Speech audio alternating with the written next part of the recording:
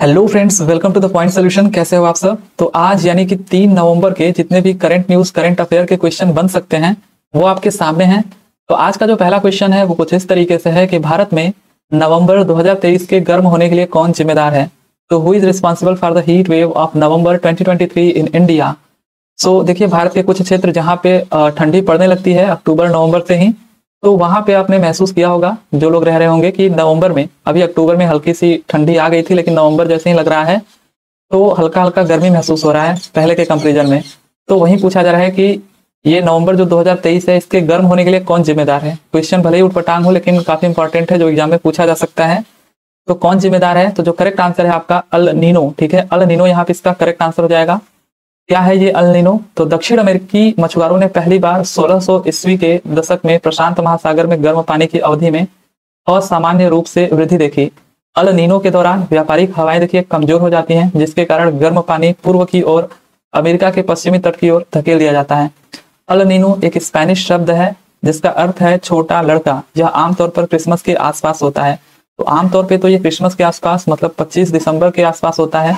कि आपको ठंडी महसूस उतनी नहीं होती है, लेकिन अभी इस बार अगर हम बात करें तो ये नवंबर में इसको देखा गया अल नीनो का प्रभाव, ठीक है, जिसकी वजह से ये जो नवंबर 2023 है, ये आप लोगों को थोड़ा इसमें गर्मी महसूस हो रही होगी। तो अगर इसका कारण पूछे क्या है तो इसका कारण होता है अल नीनो, ये आपको याद रखना है। वहीं पे अगर हम बात करें यहाँ पे लाल नीना की तो लाल नीना ठीक इसका अपोजिट होता है, जैसे इसका भी क्या मतलब था, छोटा लड़का, ठीक है, छोटा लड़का। लेकिन वहीं पे अगर हम बात करें, ये जो ला नीना है, इसका मतलब होता है छोटी लड़की, ठीक है? तो इसका मतलब होता है छोटी लड़की। और इसका ठीक उल्टा मतलब होता है, यहाँ पे जैसे ही आपका ठंडी खत्म होता है, गर्मी शुरुआत होता है, वहाँ पे इसको देखा जाता है ला नीना का प्रभाव, जिसमें आपको हल्की सी ठंडी महसूस होने लगती है, ठीक है? तो ये दोनों एक दूसरे के अपोजिट हैं। अल नीनो, अल नीना यहाँ पे है और यहाँ पे ला नीना, ठीक है? तो ये दोनों एक दूसरे के अपोजिट हैं, याद रखिएगा, अल नीना से आपका गर्मी महसूस होता है आपको थोड़ा मौसम में आ, मतलब गर्मी आ जाती है और ला नीना की वजह से ठंडी आ जाती है ठीक है? अगले क्वेश्चन की तरफ़ अगर बढ़े तो क्रिकेट के भगवान कहे जाने वाले सचिन तेंदुलकर की प्रतिमा का अनावरण किस स्टेडियम में किया गया? So in which stadium was the statue of Sachin Tendulkar known as the god of cricket unveiled तो कौन से स्टेडियम में सचिन तेंदुलकर की प्रतिमा का अनावरण किया गया? तो ये किया गया मुंबई के वानखेड़े स्टेडियम में। तो मुंबई के वानखेड़े स्टेडियम ये आपका करेक्ट आंसर हो जाएगा। तो मुंबई के वानखेड़े स्टेडियम में महान क्रिकेटर सचिन तेंदुलकर की प्रतिमा का अनावरण बुधवार, एक नवंबर को किया गया। कार्यक्रम में तेंदुलकर के अलावा महाराष्ट्र के मुख्यमंत्री एक नाथ सिंधे बीसीसीआई सचिव जय शाह, बीसीसीआई उपाध्यक्ष राजीव शुक्ला, एनसीपी प्रमुख और पूर्व बीसीसीआई और आईसीसी प्रमुख शरद पवार, एम अध्यक्ष अमोल काले ने कार्यक्रम में भाग लिया। तो आपको यहाँ पे दो तीन चीज़ें याद रखनी है। एक तो आपको पता होगा, महाराष्ट्र के मुख्यमंत्री एक नाथ सिंधे हो जाते हैं। बीसीसीआई के सचिव, सबको पता है, महान बल्लेबाज जय शाह ठीक है? और वहीं पे बीसीसीआई के उपाध्यक्ष राजीव शुक्ला हैं। ये चीज़ें आपको याद रखनी है। और आईसीसी प्रमुख इस टाइम पे शरद पवार हैं, ठीक है? तो यहाँ पे वानखेड़े स्टेडियम में सचिन तेंदुलकर की प्रतिमा का अनावरण किया गया। अभी आपने देखा था जस्ट जो मैच हुआ भारत और श्रीलंका के बीच वर्ल्ड कप का, ठीक है? तो इसमें अभी आपने देखा था महज पचपन या इसी के आसपास रनों पे समेट दिया था भारत ने श्रीलंका को। तो इस, ये मैच वानखेड़े स्टेडियम में हो रहा था और इस मैच से जस्ट पहले ही वानखेड़े स्टेडियम में ये जो सचिन तेंदुलकर हैं, जो क्रिकेट के भगवान कहे जाते हैं, इनका, इनकी प्रतिमा का अनावरण किया गया। वैसे कुछ लोगों को बुरा ज़रूर लग सकता है, क्योंकि भगवान ज़रूर कहा जाता है इनको, लेकिन ऐसी क्या नौबत आ जाती है कि ये लोग, चाहे कोई भी हो सेलिब्रिटी हो, या फिर जो अच्छे पद पे जा चुके हैं जिनको महान बोला जाता है, वो, उन लोगों को क्या ज़रूरत पड़ जाती है कि वो लोग किसी ऐसे जुए टाइप गेम का ऐड करते हैं, ठीक है? इनसे इन्हीं लोगों की छवि खराब होती है। इतना पैसा होने के बाद भी कौन सी ऐसी ज़रूरत पड़ जाती है जो इनको ऐड करना पड़ जाता है? तो अगर आपको महान बोला जाता है, आपको भगवान बोला जाता है तो आई थिंक इन सब चीज़ों से बचना चाहिए, ठीक है? तो भले ही किसी को बुरा लगे बट ये बात फैक्ट है, ठीक है? अब भले ही महान बल्लेबाज हैं, लेकिन ये सब चीज़ें शोभा नहीं देती हैं, ठीक है? मैं खुद इनका प्रशंसक हूँ बट फिर भी जब भी कोई ऐसा ऐड वगैरह करता है तो आई थिंक वो अपनी ही छवि को खराब करता है। तो यहाँ पे सचिन तेंदुलकर का ये पचास वर्षों का ये पचास वर्ष इनका पूरा हुआ था जस्ट अभी। तो उनको यह समर्पित किया गया जो प्रतिमा था, ठीक है? तो ये किसने बनाया था, अगर हम बात करें तो उनकी यह प्रतिमा अहमदनगर के रहने वाले श्री प्रमोद काम्बले द्वारा तैयार की गई थी, ठीक है? तो ये आपको याद रखना है, प्रमोद काम्बले बढ़ जाते हैं अगले क्वेश्चन की तरफ़। तो हाल ही में डेविड विली ने अंतरराष्ट्रीय क्रिकेट से संन्यास ले लिया। ये किस देश के खिलाड़ी हैं? तो डेविड विली इस देश के खिलाड़ी हैं और इन्होंने अभी अंतर्राष्ट्रीय क्रिकेट के सभी प्रारूपों से संन्यास ले लिया है। तो ये इंग्लैंड के हैं। और सबसे बड़ी बात की ये अभी तैतीस साल के थे, ठीक है? जबकि अभी ये खेल सकते थे। लेकिन ये एक शॉकिंग न्यूज़ था कि डेविड विली, जो कि इंग्लैंड के प्लेयर हैं बॉलर हैं, इन्होंने अंतर्राष्ट्रीय क्रिकेट से संन्यास ले लिया है।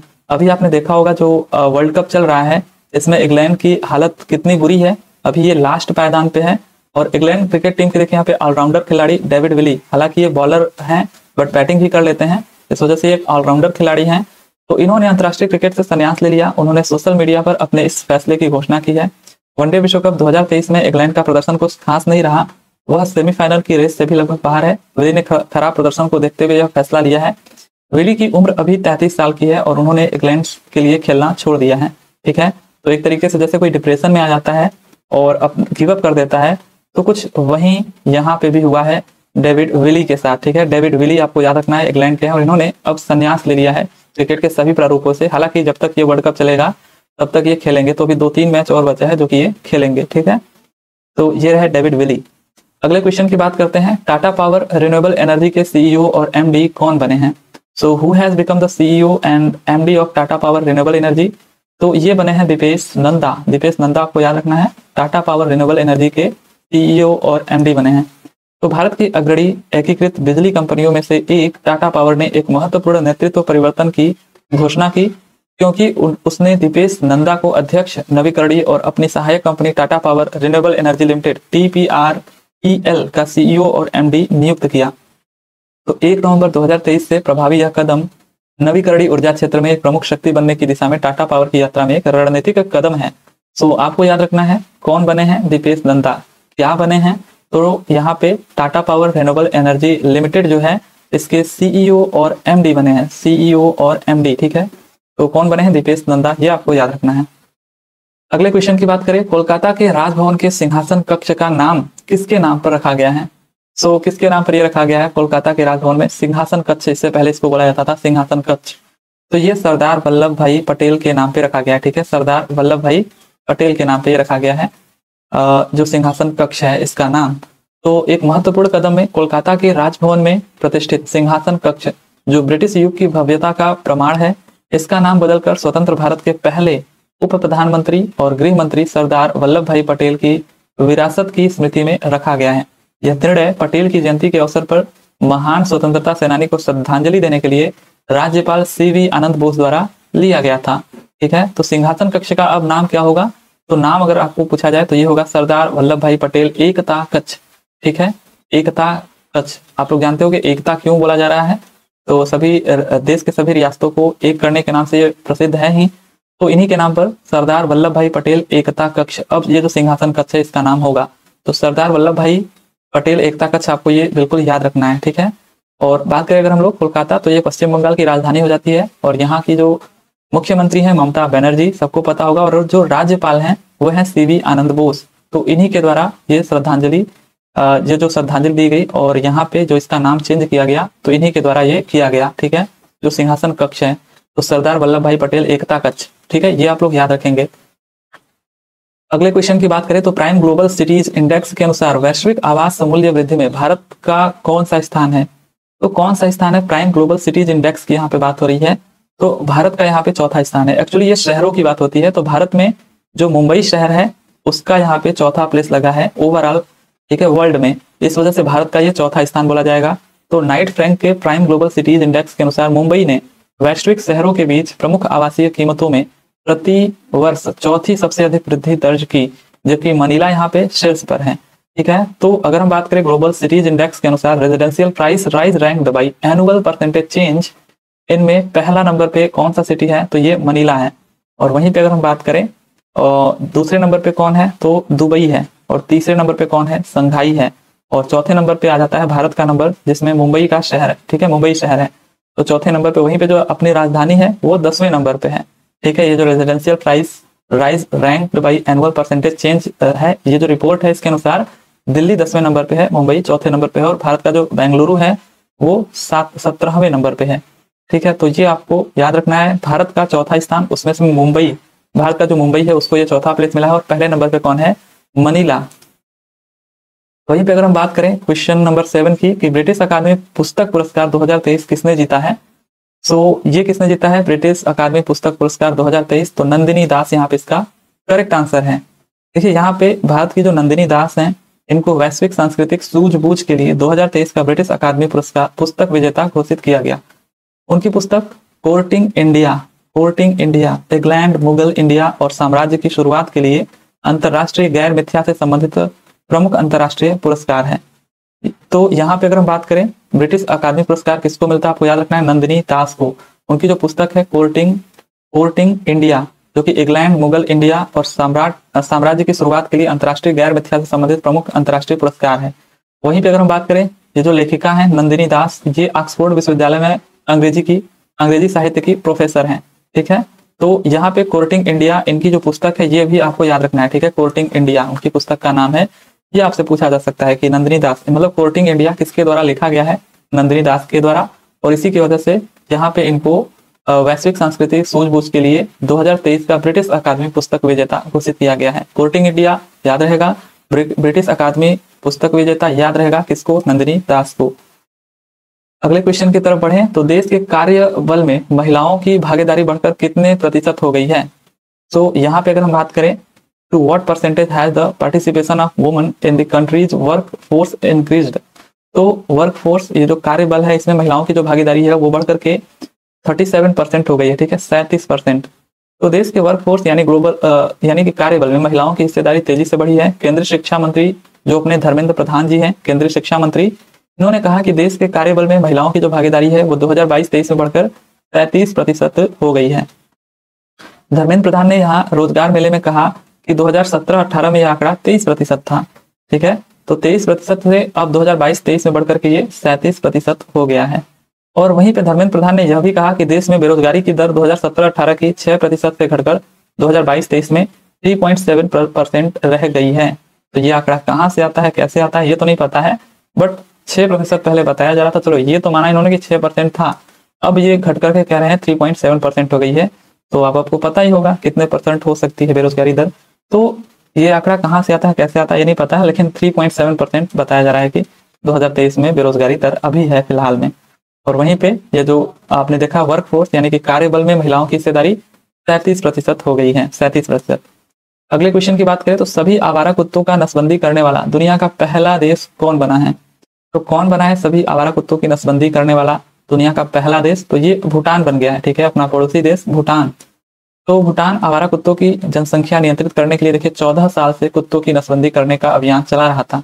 भूटान ने खुद को दुनिया का पहला देश घोषित किया है, जिसने अपने सभी आवारा कुत्तों को आबाद, आबादी को पूरी तरह से स्टरलाइज और टीकाकरण किया है। तो भारत काफ़ी दिनों से इस प्रयास में है, क्योंकि भारत में अपने काफ़ी मामले अभी जस्ट हाल ही में सुने होंगे कि आवारा कुत्तों के काटने से इनकी मृत्यु हो गई, उनकी मृत्यु हो गई।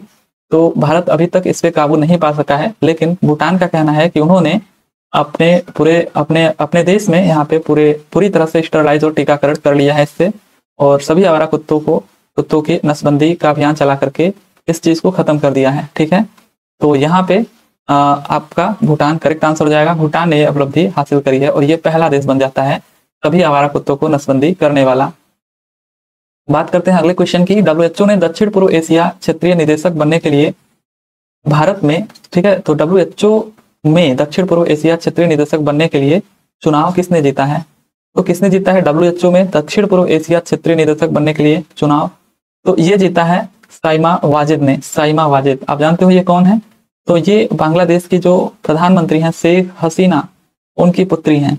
तो बांग्लादेश की पीएम शेख हसीना की बेटी साइमा वाजिद ने वर्ल्ड हेल्थ ऑर्गेनाइजेशन का एक महत्वपूर्ण चुनाव जीत लिया है।